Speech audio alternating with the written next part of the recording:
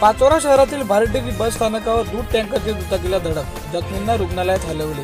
आज दिनांक वीस ऑगस्ट दोन हजार तेवीस रोजी रात्री आठ वाजेच्या सुमारास पाचोरा जळगाव हायवेवरील पाचोरा येथील भारडेरी बस स्थानकाजवळ एका भरधाव येणाऱ्या टँकरने दुचाकी स्वरास धडक दिली आहे. यामध्ये सदर दुचाकी स्वाराला धडक देताच ट्रक चालक हा फरार झाला असून अपघातग्रस्तांना तात्काळ स्थानिक नागरिकांच्या मदतीने विघ्नार्थ हॉस्पिटल पाचोरा येथे उपचारासाठी दाखल करण्यात आले आहे.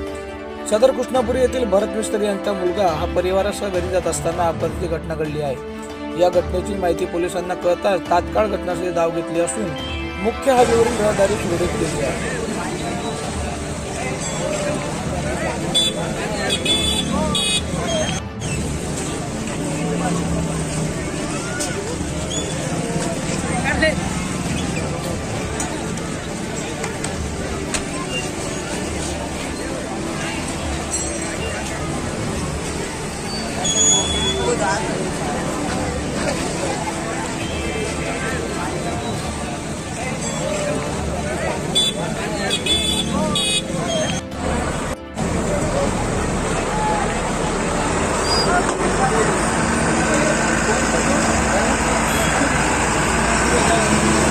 りがとうございます